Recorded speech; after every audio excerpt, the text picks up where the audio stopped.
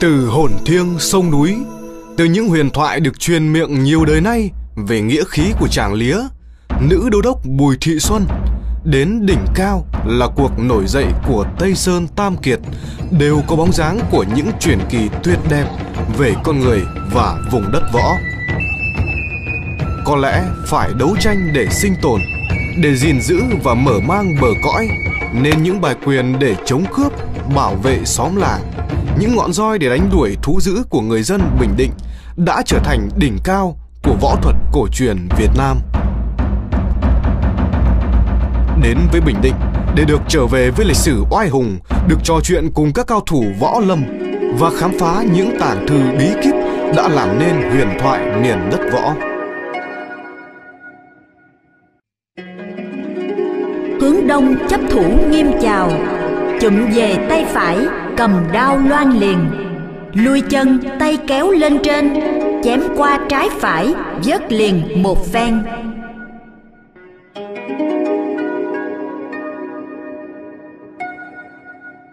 Những câu văn thơ gắn liền với những bài võ bình định thường được viết theo dạng văn xuôi, ngắn hoặc thể thơ, ca dao dân gian nên rất dễ đọc, dễ nhớ. Khi âm điệu vang lên thì sự hào hùng của khí phách ngàn xưa cũng vọng về. Và nói đến võ bình định thì không thể không nhắc đến những bài thiệu cổ.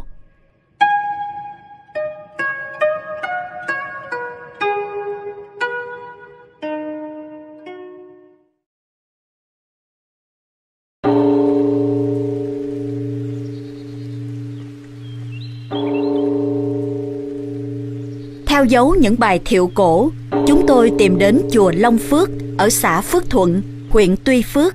nơi được mệnh danh là Thiếu Lâm Tự của Bình Định và là nơi đang giữ cuốn tuyệt đỉnh bí kíp được đồn thổi lâu nay. Lục tướng Tằng Dương phổ chùa Long Phước những ghi chép về các bài thiệu cổ mà Thượng tọa Thích Hạnh Hòa, vị sư trụ trì của chùa, đang lưu giữ có phần tư liệu mang tên Tây Sơn danh tướng bí kíp mộ hồn thao của ông Nguyễn Trung Như, vị tướng thời Tây Sơn, người làng An Thái, huyện An Nhơn, tỉnh Bình Định. Quyển tư liệu này ghi lại những chiêu pháp, thao lược đặc biệt của Tây Sơn Tam Kiệt, của các danh tướng Tây Sơn khác như Vũ Văn Dũng, Trần Quang Diệu, Đô đốc Bùi Thị Xuân, cũng như của chính tác giả.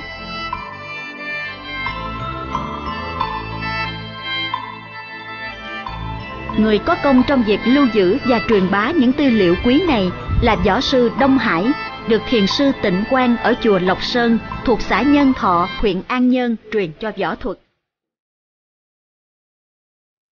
Sau này, ông được sư phụ cho chép lại toàn văn bộ võ thư và đến khi được sư thầy cho đến chùa Long Phước để tu học, võ sư Đông Hải và thầy Hạnh Hòa đã cùng nghiên cứu dịch một số chiêu thức thao mẫu trong cuốn binh thư để dạy lại cho các lớp võ sinh tại ngôi chùa này. Giờ đây, tuy đã hoàn tục và lui về cuộc sống thanh nhàn với nghề y ở huyện Phù Cát, võ sư Đông Hải vẫn nặng lòng với võ thuật cổ truyền.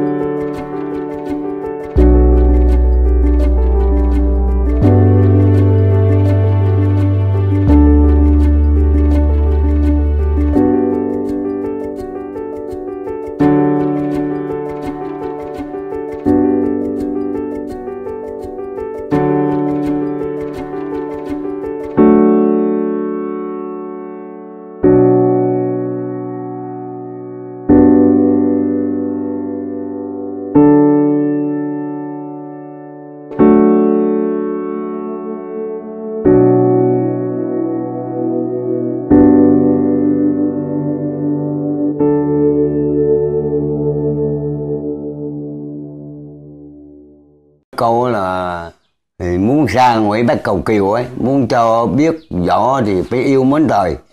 mình làm sao cho thời được hài lòng thương à, là họ chỉ cho mình những cái bí kíp à, cái thớ thần cái kinh qua đấy. Binh sách chữa là phải tận tâm với ông mà ông mới được. Cho ông tiền lại cho con cho ông đầu nào ông đưa cho trò. Ví dụ trường hợp mình thương ông dù lúc mà ông đau ông nhắm ông đau nặng á thì ông để nói con ông qua kêu mình. Kêu còn nhưng mà nói vậy đâu chứ mà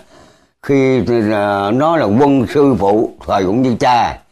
Thì khi ông đâu mà mình biết rồi là mình phải chăm nôm này kia nọ khác thì ông chỉ. Gần 20 năm tầm sư học đạo,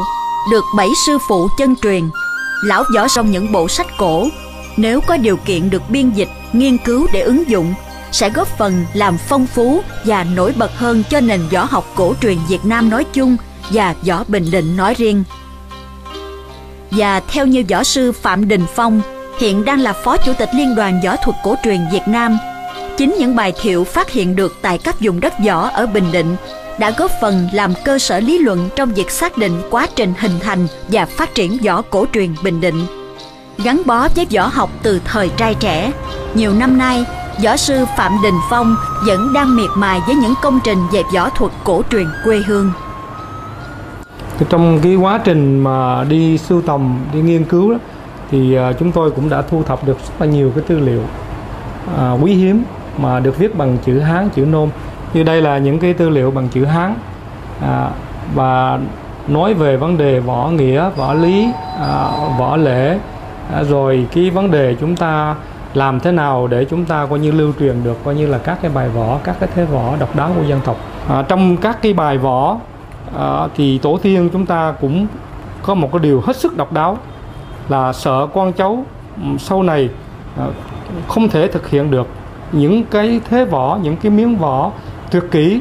à, của tổ tiên và đã à, vẽ lên những cái hình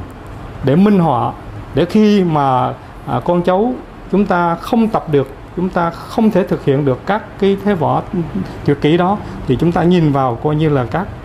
cái hình vẽ thì chúng ta có thể tập được chúng ta có thể thực hiện được coi như là những cái thế võ và những cái bài võ đó. Thì chúng tôi cho rằng đó là một cái sự kỳ công. À, có thể nói rằng là đây là một cái bảo bối thiêng liêng